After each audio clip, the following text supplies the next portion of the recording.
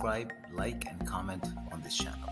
Today, this audios is about finding, or should I say, how to attract a partner by this girl who seemed very enthusiastic. There is also a question at the end which intrigued me about what is my life path. Using headphones and earphones will maximize your pleasure. Wishing you an awesome day, enjoy and chill.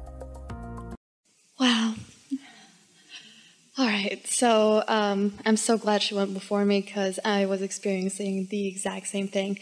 So, my question is um, I've been lucky, the relationship that I have been in for the last three years has provided me with a lot of contrast. And therefore, clarity.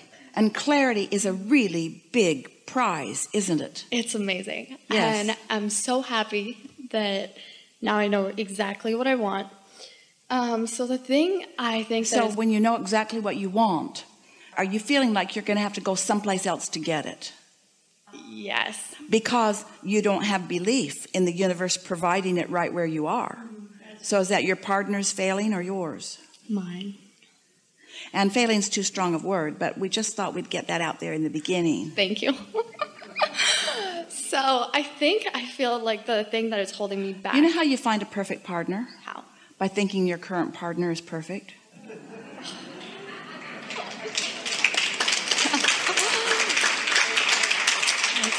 It's the partnering with your inner being. Mm-hmm.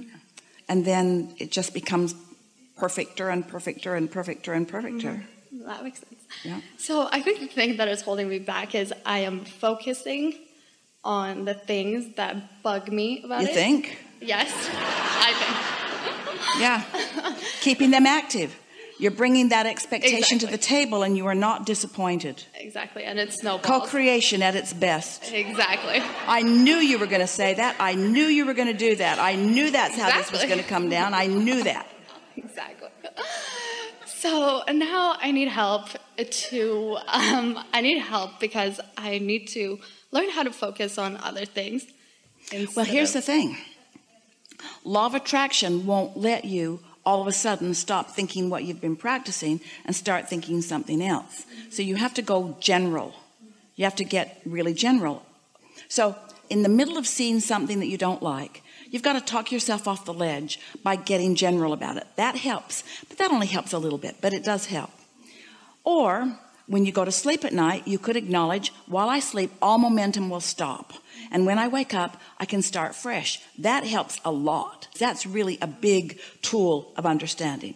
And then the next is when you meditate and quiet your mind altogether, as your vibration rises and you find the vibrational equivalency of your inner being, now you're going to receive thoughts of how your inner being knows that you are dovetailing with this relationship. You see what we're getting at?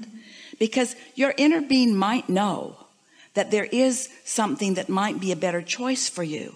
But you want to make sure you're in that receiving mode before you start moving. Because if you make a decision from not that receiving mode, then what happens is you just take yourself with you, and the next partner has all of those things that are active in your vibration. So it's different faces and different places, but the same thing happens. Yeah, then that's exactly why I haven't left yet. So that makes sense. Yes. Do you mind if we ask you some questions? Go ahead. Do you think that your inner being knows clearly the aspects of a relationship that matter to you? I think so. And do you think that you have the ability to get into vibrational resonance with your inner being so that you know what your inner being knows? Mm-hmm. So you got that, didn't you? So now here's the question. When you have those thoughts of wanting to run away and go someplace else, do you think those are impulses from your inner being? Or do you think those are impulses from not being much in alignment? Definitely not being much in alignment. Well, we think so too, but that doesn't mean that your inner being is trying to get you to stay there forevermore. It's just that your inner being knows you can't get there from there. You got to stay tuned in. And so sometimes, in fact, frequently, in fact, our friends got us on percentages 70 percentage ish part of the time, you will stay right where you are and you'll just find more about where you are and it will just blossom into the fullness of what you've been asking for so far and sometimes your inner being will guide you in such wonderful, easy, powerful, clarity, certain ways to something more. Where does that leave you? So, what would you say to someone that you're co creating with like that? I like you pretty good. Let's see how it goes. How does that sound? If somebody said that to you, I like you pretty good. Let's see how it goes. Your reaction to this is really telling because if it makes you feel insecure, then you're not quite yet in the receiving mode. If it sounds like really a good idea, oh, then I'm satisfied. What more? What more? So many relationships are about insecurity. I'd feel better if you were here. I'd feel more secure. But what you don't realize is that that tramples your toes of freedom because what everyone wants is independence. What everyone wants is freedom. And so the very security that you think you want tramples your sense of freedom. And so you've got this push pull with relationships. When they're not there, you want them to come. And when they get too close, you want them to go away. Come here, go away. Come here, go away. You're doing that to each other all the time, you see. You make each other crazy. Completely. Yes. so now where are you? Okay. So I guess my question is when things happen and I have a knee jerk reaction, how do I do I just go general? All right. So, that? yes, that's all you can do.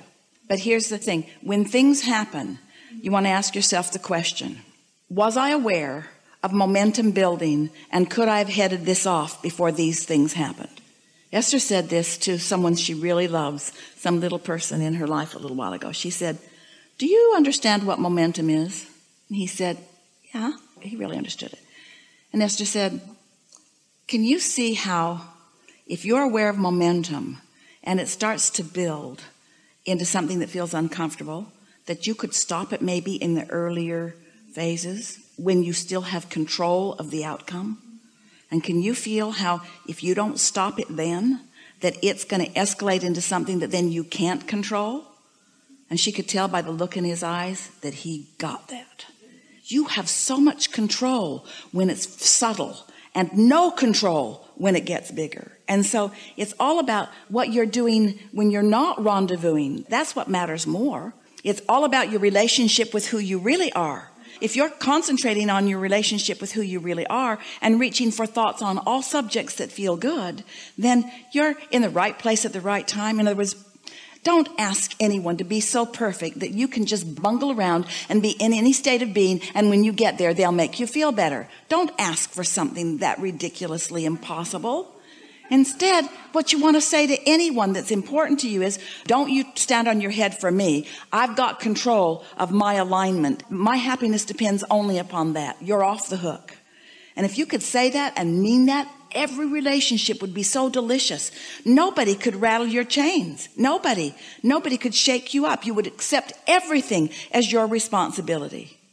And of course, you're going to observe things. You're going to have knee jerk reactions to things, but your knee jerk reactions can be much softer from your place of consistent alignment. So when something happens, you deserved it. Because you got ready to be ready to be ready to be ready for it. So Esther will say, when she first started catching on to this and something really wonderful would happen, she would say, I did that. And when something not so wonderful happened, she said, I did that. Taking ownership of your point of attraction is the only place that freedom ever comes from. And complimenting yourself on how well you're doing. Yes? Yeah. Did we get there? Yes, totally. Yes. Really good. Something more? Sorry.